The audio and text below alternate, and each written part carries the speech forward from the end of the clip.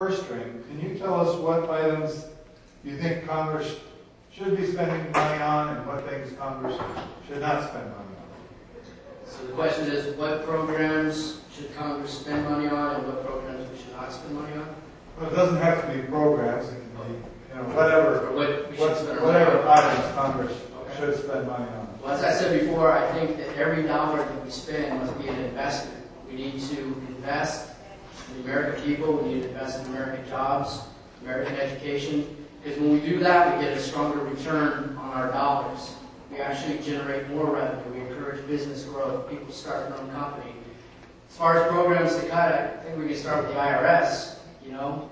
IRS has 114,000 employees, they have a $11 billion budget. I mean, there were 900 amendments just the last, just last year alone to the federal tax laws. And, I mean, big bureaucracy exists in Washington. And, I mean, when you go and you visit there, I mean, it takes 20 people to answer one question. And I think that we can also cut a lot of the federal jobs.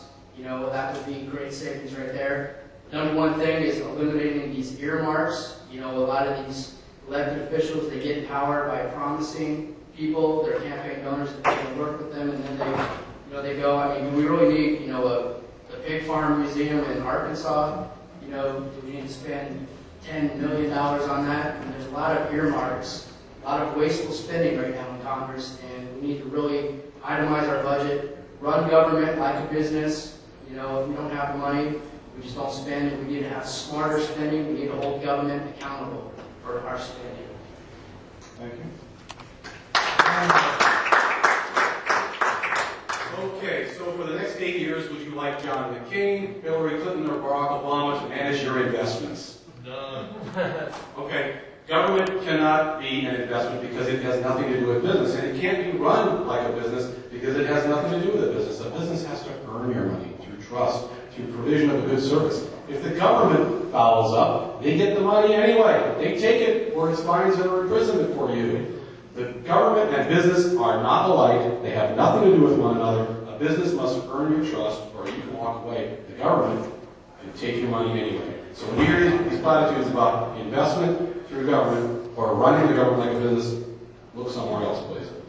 What should government be spending on? Certainly at the federal level, almost nothing. Defense of the country, not running the world, and the only other place that, besides the post office, that the federal government has any actual legal authority to get involved with is to see who votes. Read the Constitution carefully. It doesn't talk much about immigration. It talks about naturalization. Who has the right to vote? These are very important issues. Who has the right to vote? So the federal government needs to focus, like a laser beam, on who has the right to vote, stop worrying so much about building fences, and defend our country and not run the world. Because when we reduce the federal government to this little level, when we make it a servant and not a master, we actually have a chance to reduce the corruption that is involved at that level. We actually have a chance to have it maybe do something right. Thank you. PhotoForCongress.com. Ricardo! Well, there's a little hitch in the armor here. Dan did ping on David Joy there a little bit. And that gives you a thirty minute, I mean, thirty second, thirty second rebuttal. We get the magic button. Yeah. Um, to respond, Dan, I do believe that government needs to invest in our people. I mean, when you look at Ronald Reagan and his optimism and his vision, I mean, he talked about investing in the American people. That's what happened in the early 80s. We turned it around. The economy grew for 10 years, and we had the longest peacetime expansion of the economy when we invested in our people. We got to encourage people to start businesses. We got to invest in education. We got to invest in jobs. And when we do that, government works. Our country's better. Thank you.